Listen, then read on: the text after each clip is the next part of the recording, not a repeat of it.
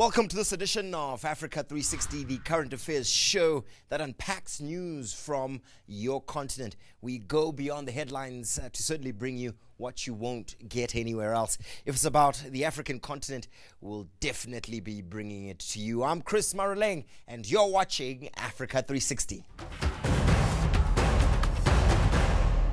Zimbabwe's historic elections are just days away. These polls have been described as a watershed moment in that country's political history. This week on Africa 360, we continue our comprehensive coverage of Zimbabwe's upcoming elections. We've brought you news about ZANU PF last week, but now we turn our focus to the Movement for Democratic Change, otherwise known as the MDC. It's been a difficult road for Morgan Tsvangirai, both politically and personally. His party initially burst onto Zimbabwe's political scene more than 10 years ago. And in that time, Tsvangirai has been an open critic of President Robert Mugabe. We must give Mugabe a resounding defeat. He was once arrested and charged with treason. That was later dismissed, though. And who can forget those images after he was brutally assaulted? That hasn't dampened his spirits, though. The MDC became a popular political party soon after its formation. It has a large following, especially among young people and the country's urban working class. One of the party's main missions has been to revive the country's fledgling economy. It's also focused on creating jobs for millions of unemployed Zimbabweans. Tsvangirai's ambition of winning elections have been thwarted on several occasions, but he came very close to unseating Mugabe in Zimbabwe's last elections. Tsvangirai pulled out of the runoff election, though citing vote rigging. In 2009, Tsvangirai formed a government of national unity with President Robert Mugabe and Arthur Mutambara. Under SADC's guidance, the three signed a political agreement that would see the country return to democratic rule. The agreement included several key reforms before elections could take place. But Tsvangirai says Mugabe has, throughout the process, made unilateral decisions against the terms of the agreement. Mugabe declared July the 31st as the election date, but opposition parties cried foul. They maintain the date is too soon and that key reforms have not been implemented. As Morgan Tsvangirai, the Prime Minister of this Republic of Zimbabwe, and the President of the MDC, I will not accept a situation where Zimbabweans will yet again be railroaded and frog marched to another illegitimate and violent election. Well, that was uh, Prime Minister Morgan Tsvangirai lamenting the fact that the upcoming polls, according to him, will not be free and fair. Let's quickly take a look at the history of the MDC and how this party has evolved since it was formed uh, 14 years ago. Well, as you can see uh, from our graphic there, the Movement for Democratic Change was founded in 1999 as an opposition party to the ruling ZANU-PF, the Zimbabwe African Union Patriotic Front. Well, the MDC, as you can see from our graphic, was a party that was made up uh, from a broad coalition of civil society groups, in particular uh, the trade union uh, movement, the Congress of uh, Trade Unions of Zimbabwe, that is the ZCTU, academics, mostly from Zimbabwe's middle class, also uh, formed, uh, contributed to the formation of this party. The party was formed on a platform of providing democracy and freedom for all Zimbabweans. In 2005, the party split after Tsvangirai uh, objected to a decision by his lieutenants to participate in uh, Senate uh, elections. This resulted in two factions of the MDC the MDC-T, led by uh, Morgan Tsvangirai, and the MDC-M, which was then uh, led by Arthur Mutambara, who has since been replaced by Welshman Ncube. Some observers believe the party was weakened as a result of uh, this split uh, between uh, forming the two formations. Despite the division, the two factions both got seats in the turbulent 2008 uh, general elections.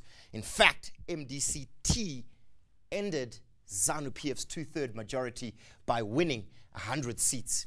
Mugabe's party emerged with 99 seats. the Ncube led MDC won only 10 of uh, those seats. Well, as you can see from our next slide coming up just now, after those disputed polls in 2008, Morgan Tsvangirai, uh, President Mugabe, Arthur Mutambara formed a government of national unity after a protracted uh, SADC mediation, forming the unity government. And this paved the way for this year's polls, which will take place on the 31st of July. Well, joining me now to take our conversation a little bit further is Professor Brian Raftopoulos. He's a renowned Zimbabwean scholar and activist. He joins us uh, from our Cape Town uh, studios. Uh, Prof, thank you so much uh, for joining us uh, on uh, Africa 360. Let's, let's get right into it. W one of the, the, the, things about the opposition is that um, the opposition has been in what has been described as a very difficult marriage with the former governing party, ZANU PF. How would you rate the opposition's performance uh, during the past four years of this government of national unity? I think it's been a mixed bag. Um, you know, they've had a difficult time learning statecraft, having to deal with all the obstacles of joining a government where key levers of state control are beyond them. Um, and they've had to really try and uh, learn very quickly how to deal with that. They've also, I think, let themselves down through a lack of coordination between the MDCs, their own problems of, of uh, how they've operated, uh, you know, issues around corruption, personal issues around the leadership, a lack of coordination on certain policy questions. So I think uh, really it's been a mixed bag. Now, uh, Prof, would, would you say they've done enough? Uh, we are on the verge of yet another election, a lot of people argue that the MDC really hasn't focused on a lot of the procedural issues that they should have focused on in order to ensure at least a free and fair outcome in these elections. Look, I think since the beginning of the discussions of the mediation, they've been pushing around issues uh, on the implementation of the GPA through SADC, through their own processes, uh, and one shouldn't underestimate the manner of the blockages around this process. Mm -hmm. I think certainly they could have done more through coordinating between the two MDCs and pushing their positions jointly, which has allowed ZANU PF to block, certainly, for example, around the Mutambara question. Mm. The, if they had been working together, that, that foil could not have been used as much as it was, and uh, certain things, certain more things could have been done. Um, but as I said, one shouldn't underestimate the real blockages that they faced in this process. Let's talk a little bit about uh, this rupture between uh, the, the two MDC formations. One would have imagined, particularly during this watershed moment, that the MDC, both of the parties, would have formed a coalition uh, to unseat ZANU PF. This hasn't happened. Uh, uh, Professor Ncube himself has indicated that uh, he, he's going to run or stand in these elections as a presidential candidate. Yes, I think it's been a huge failing that they've been able to come up, they've been unable to come up with a, a joint position on the elections. Um, in 2008, they suffered for it, and I think they're likely to suffer from it again. The problem is there are long-standing issues which have not been resolved. Uh, issues that go back to the 2005 split. In 2007, an attempt was made to have an election pact in December of that year. Um, that failed largely around the problem of um, uh, parliamentary seats and people not willing to give up certain positions in the event of a pact. There's a huge amount of lack of trust between them, which runs very deep. Uh, but I think, notwithstanding that, there could have been some common positions put together, uh, especially given the kind of uh, obstacles that they face.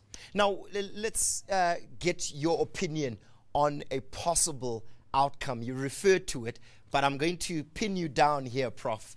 Do you think Morgan Tsvangirai can unseat President Robert Mugabe in this round of elections? I think that if there is a reasonably free and fair election, that is certainly a possibility. Notwithstanding the kind of opinion polls uh, that have indicated a drop in support, I think the, the base that uh, Tsvangirai has is still is still substantial. And that if there is a level of uh, freeness and fairness in the processes, uh, I think that's a real possibility. The problem, of course, is the, the issues we've seen around the electoral process, the voters' roll, the registration, the chaos around the special voting, um, the legacy of 2008 in terms of the threat of violence. These are issues that if the, if the kind of uh, uh, procedures around these are not sufficiently dealt with, then we're still going to have a problem. Well, thank you so much for sharing those key insights with us. That was uh, Professor Brian Raftopoulos uh, joining us from our studios in Cape Town, giving you the lowdown on the state of uh, main opposition politics in Zimbabwe. Do stay with us because after the break, we'll bring you the views of the MDC on these upcoming elections. And this is only on Africa 360.